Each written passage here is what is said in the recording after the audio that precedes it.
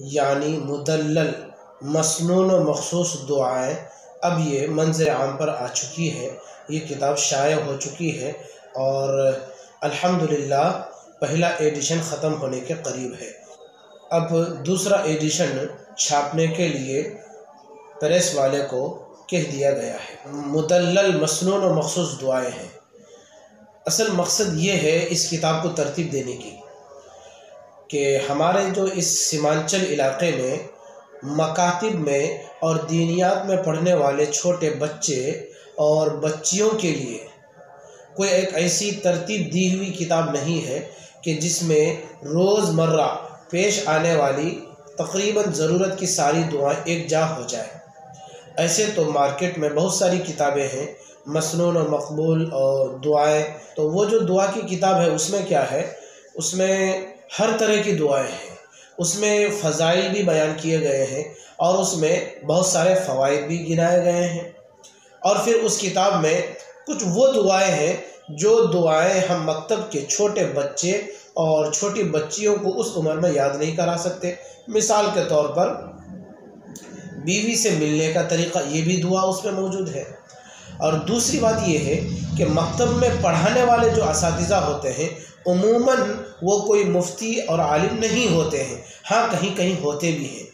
تو ان کو تھوڑی پریشانی پیش آتی ہے اس بات پر کہ دعا کی بڑی کتابوں میں سے چند دعائیں چن چن کر کے اپنی ثواب دید کے اعتبار سے بچوں کو اور بچیوں کو یاد کراتے ہیں۔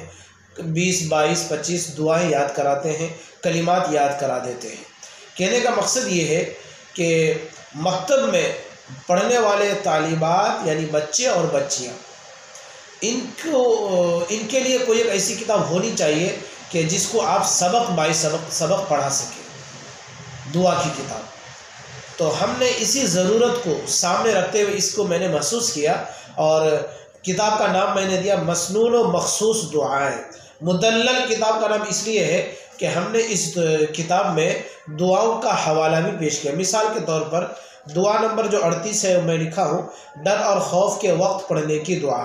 اللہ نعوذ بک من جہد البلاء و درک شقا وسوء القضاء و شماتت الاعداء۔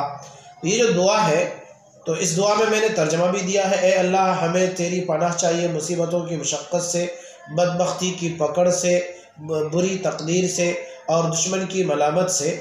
حوالہ ہے بخاری، کتاب الدعوات، باب کتاب الدعوات جلد نمبر دو، صفحہ نمبر نو سو انتالیس۔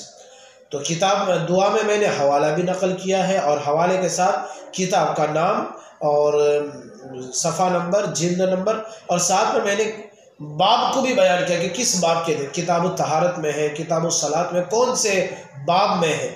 اس کو میں نے اس لیے لکھ دیا کہ بہت سارے ایسے نسخے ہیں کہ جس نسخے میں صفحات نمبر الگ ہوتے ہیں۔ جو نمبر میں نے یہاں دیا ہے اسی نمبر پر یہ دعا دوسرے نسخے میں نہیں ملے گی۔ تو پھر ان کے لیے میں نے یہ کیا کہ باب کو بیان کر دیا تاکہ علماء حضرات کے لیے سہولت ہو جائے۔ تو یہ کتاب ایک اعتبار سے اگر آپ کہیں تو جامع اور معنی کتاب ہے۔ مکتب کے اعتبار سے کہ آپ اس کتاب کو مکتب میں پڑھا سکتے ہیں۔ مجھے بہت خوشی ہوئی کہ الحمدللہ یہ کتاب بہت محنتوں کے بعد، بہت دعاؤں کے بعد اور ایک عرصے کے بعد منظر عام پر آئی ہے۔ اور میرے لیے ایک صنعت کی بات یہ ہے کہ اس کتاب کو منظر عام پر لانے سے پہلے اور لوگوں میں تقسیم کرنے سے پہلے یہ کتاب سب سے پہلے دارالعلطیفی کٹھیار کے ناظم صاحب کے حوالے کی گئی، ان سے دعائیں لی گئی۔ اور ایک بہت بڑی بات یہ کہ حضرت مولانا انوار عالم صاحب دامت برکاتہم ناظم عمومی دارالعلوم بہادر گنج۔ حضرت کی خدمت میں بھی یہ کتاب پہنچی اور حضرت نے کتاب کا مطالعہ بھی کیا اور دعاؤں سے نوازا بھی۔ تو ان اکابرین بزرگوں کی دعا، پھر ہمارے دارالعلطیفی کے شیخ الحدیث اور شہر کٹھیار کے قاضی حضرت مولانا قاضی شمشیر صاحب، ان کی دعاؤں پر کتاب کا رسم اجرا بھی ہوا ہے اور طلبہ کی دعاؤں کے ساتھ اس کتاب کو آغاز کیا گیا ہے۔ مجھے اللہ کی ذات سے قوی امید ہے کہ ان اکابرین کی دعائیں اور کیا کہتے ہیں کہ طلبہ کی آمین اور طلبہ نے جو حوصلہ طلبہ نے جو اس کو قبول کیا، پسند کیا ہے، اللہ تبارک و تعالیٰ اس محنت کو انشاءاللہ ضائع جانے نہیں دیں گے۔ انشاءاللہ اس کتاب کو اللہ تبارک و تعالیٰ ضرور قبول کریں گے اور میرے لیے ذریعہ نجات بنائیں گے۔ تو بہرحال دوستو، یہ کتاب چھپ کر آ چکی ہے۔ آپ اپنے اپنے مکتبوں میں اس کتاب کو چلائیں، جاری کریں اور دینیات کے شعبے میں اس کتاب کو جاری کریں۔ چھوٹے جو بچے ہیں، تو ان کے لیے آپ کون سی دعائیں یاد کرائیں، نہیں کرائیں، تو آپ اس کتاب کو لے لیں۔ تو اس کتاب میں کیا ہے کہ ساری دعائیں آپ دو تین مہینے میں کتاب مکمل کر سکتے ہیں۔ اس میں دعاؤں کے ساتھ دعاؤں کا ترجمہ بھی ہے۔ اور میں نے یہ کیا ہے کہ ترجمے میں معنس کا بھی خیال خیال رکھا ہے۔ مثال کے طور پر جیسے وضو شروع کرتے ہو پڑھنے کی دعا میں ترجمہ میں میں نے لکھا، بسم اللہ الرحمن الرحیم کے ترجمے میں، اللہ کے نام سے شروع کرتا ہوں۔ تو اللہ کے نام سے شروع کرتا ہوں، یہ تو بچوں کے لیے ہو گیا لیکن جو بچی ہے، لڑکی ہے، اس کے لیے میں نے رکھا ہے، اللہ کے نام سے شروع کرتی ہوں تاکہ ایک ترجمے میں دونوں کی رعایت ہو جائے۔ یہ بھی ایک خصوصیت ہے اس کتاب کی۔ بہرحال اصل خصوصیت تو اس وقت ہے جب آپ کے ہاتھوں میں یہ کتاب جائے گی اور آپ کو یہ کتاب اچھی لگے گی اور آپ کو اس کتاب سے فائدہ اگر ملے گا تو میرے لیے بڑی خوش نصیبی کی بات ہوگی، خوش قسمتی کی بات ہوگی۔ آپ اس کتاب کو ضرور حاصل کریں، چلائیں۔ اگر آپ حضرات اس کتاب کو چلائیں گے، اس سے ہوگا یہ کہ میرے لیے ایک صدقہ جاریہ بن جائے گا اور یہ ایک اچھا کام تا قیامت جاری ہو جائے گا۔ تو آپ حضرات خاص طور پہ علماء حضرات اس پر خاص دھیان دیں، توجہ دیں اور اپنے اپنے مکاتب میں اس کتاب کو ضرور چلائیں۔ اور اسی طرح سے مدرسے میں جو چھوٹے بچے ہیں، دینیات میں ہیں اردو اول دوم میں ہیں تو آپ حضرات بھی اس کتاب کو چلا سکتے ہیں۔ ایک بار آپ ضرور اس کتاب کو دیکھ لیں، پڑھیں۔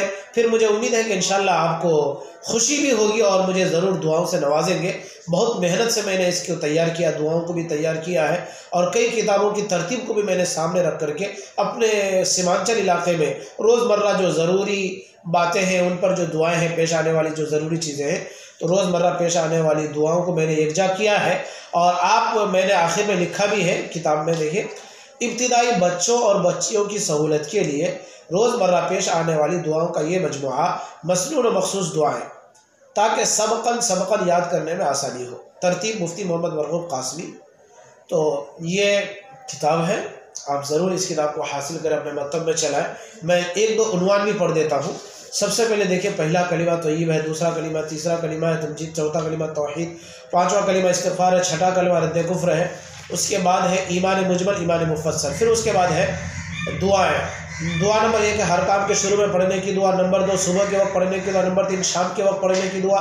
نمبر چار، سوتے وقت پڑھنے کی دعا۔ نمبر پانچ، نیند سے بیدار ہونے کے، نیند سے بیدار ہو کر پڑھنے کی دعا۔ نمبر چھ، بیت الخلاء، داخل ہونے سے پہلے پڑھنے کی دعا۔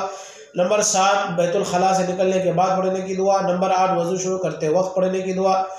نمبر نو، وضو کے درمیان پڑھنے کی دعا۔ نمبر دس وضو سے فارغ ہو کر پڑھنے کی دعا۔ تو یہ ترتیب ہے اس کی۔ مسجد سے نکلنے کی دعا، کھانا شروع کرتے وقت کی دعا، بسم اللہ بھول جانے پر پڑھنے کی دعا۔ اسی طرح سے دفع قرض کے لیے پڑھنے کی دعا۔ لوگ سوال کرتے ہیں کہ بھائی قرض ہے، کیسے دفع کریں؟ اس کے لیے یہ دعا۔ صحت و پاک دامنی طلب کرنے کی دعا، بیماری دور کرنے کے لیے پڑھنے کی دعا۔ تو یہ سب ضروری دعائیں ہیں جس کو میں نے جمع کیا ہے۔ اور اس میں کوئی فضائل وغیرہ نقل اس طرح نہیں کیے گئے۔ یہ کتاب باضابطہ پڑھانا ہے۔ فضائل کے لیے بڑی بڑی کتابیں موجود ہیں، وہاں پر فضائل بھی موجود ہیں، سب کچھ موجود ہے بہرحال آپ ان کی یہ سب کتابیں ہیں۔ ایک ہزار، پہلے ایڈیشن میں ایک ہزار کتابیں چھاپی گئی تھی اور دوسرا ایڈیشن میں نے خود اپنے صرفے سے شائع کرنے کے لیے پریس والے کو کہا ہے اور میں نے رقم بھی دے دیا ہے۔ انشاءاللہ ایک ہفتے میں دوسرا ایڈیشن بھی چھپ کر آ جائے گا۔ آپ حضرات ضرور اس کو حاصل کریں اور اپنے اپنے مکتبوں میں چلائیں۔ اللہ تبارک و تعالیٰ میرے لیے اس محنت کو، اس کتاب کو ذریعہ نجات بنائے، تا قیامت اس کتاب کو جاری فرمایا آمین۔ والسلام عليكم ورحمة الله وبركاته.